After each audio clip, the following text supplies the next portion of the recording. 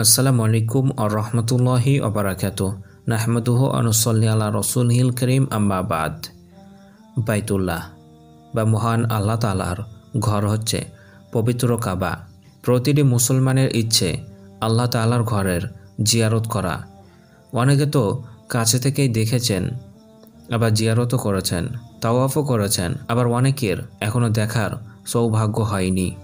কিন্তু এই সম্পর্কে অজানা কিছু তথ্য চাইলে আপনারা জেনে নিতে পারবেন এই ভিডিও থেকেই। এবং এরপরে যখন দেখতে যাবেন, তখন এই তথ্যগুলো সেখানে সহজে খুঁজে পাবেন। আর তাই তো, এই কাবাঘর সম্পর্কিত এমন কিছু তথ্য আজকের এই ভিডিওর মধ্যে রয়েছে, যা অনেকেই জানেন না। তাই তো পবিত্র কাবা সম্পর্কে এমন অজানা দশটি তথ্য নিয়ে আমাদের আজকের এই বিশেষ আলোচনাটি। তাই ভিডিওটি না কেটে শেষ পর্যন্ত দেখতে থাকুন।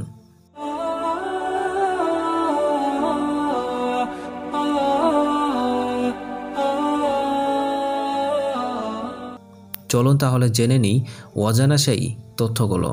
নাম্বার ওয়ান কাবাঘর কয়েকবার নির্মিত করা হয়েছে। নানা ধরনের প্রাকৃতিক দুর্যোগ ও যুদ্ধ অবস্থার কারণে কাবাঘর কয়েকবার নির্মাণ করা হয়েছে। অধিকাংশ ঐতিহাসিকের মতে, কাবাঘর মোট বারোবার নির্মাণ করা হয়েছে। বর্তমান ডিজাইনের নির্মাতা মুসলিম শাসক হাজ্জাজ বিন ইউসুফ। হাজ্জাজ বিন ইউসুফ নিজে এই ডিজাইনটি করেননি। বরং তিনিও ইসলাম পূর্ববর্তী কুরাইশদের ডিজাইন অনুসরণ করেছেন।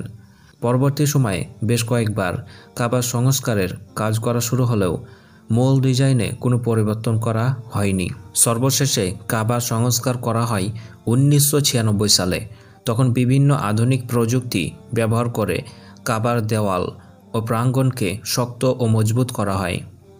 নাম্বার টু, কাবার গিলাফের রং পরিবর্তন। কাবাকে গিলাফে আবৃত করা প্রচলন শুরু হয় জমহুর গোত্রের মাধ্যমে। পরবর্তী সময়ে এ ধারা চলাচল থাকে। মহানবী হজরত মোহাম্মদ সাল্লাহ আলাই ওসাল্লাম কাবাঘরকে একটি সাদা ইয়ামিনী চাদরে আবৃত করেন।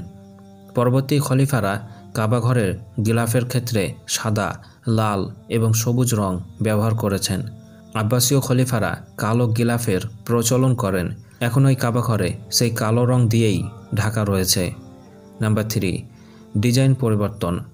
পবিত্র কাবা ঘর বর্তমানে যেমন আকৃতিতে আছে, ইব্রাহিম আলাহ যুগে বা তিনি এই আকৃতিতে তৈরি করেননি।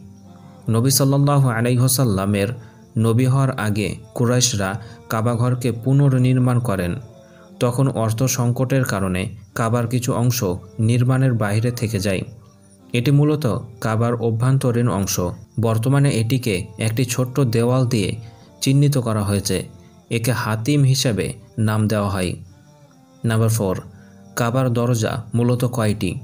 কাবার মূল দরজা ছিল দুটি এবং একটি জানালাও ছিল। বর্তমানে দরজা আছে একটি, জানালা নেই। তবে কাবার অভ্যন্তরে আরেকটি দরজা আছে, যা ছাদে যাওয়ার জন্য ব্যবহৃত হয়। নাম্বার ফাইভ, কাবাঘরের অভ্যন্তর। কাবাঘরের অভ্যন্তরে কি আছে? এ নিয়ে সবার মনেই প্রশ্ন জাগে। কাবার অভ্যন্তরে বা ভিতরে তিনটি পিলার মূল ছাদটিকে ধরে রেখেছে। দুই পিলারের মাঝে একটি টেবিল সুগন্ধি রাখা আছে। দেওয়ালের ওপরাংশে একটি সবুজ কাপড় আবৃত করে রেখেছে। কাপড়টিতে কোরআনের বিভিন্ন আয়াত লেখা আছে। নাম্বার সিক্স, হাজারা আসওয়াদ সম্পর্কে। হাজারা আসওয়াদ মূলত একটি বড় পাথর ছিল, তবে বর্তমানে এটি মোট আটটি পাথর খণ্ডের সমষ্টি। নানা ধরনের প্রাকৃতিক দুর্যোগে পাথরটি ভেঙে গেছে। সর্বপ্রথম এর ওপর রূপোর ফ্রেম বাধাই করেন Abdullah bin Jubair.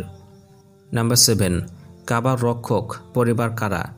অবাক করা ব্যাপার হলো, ইসলাম পূর্বযুগ হতে এখনও পর্যন্ত একটি গোত্রই কাবার রক্ষণাবেক্ষণের দায়িত্ব পালন করেছে।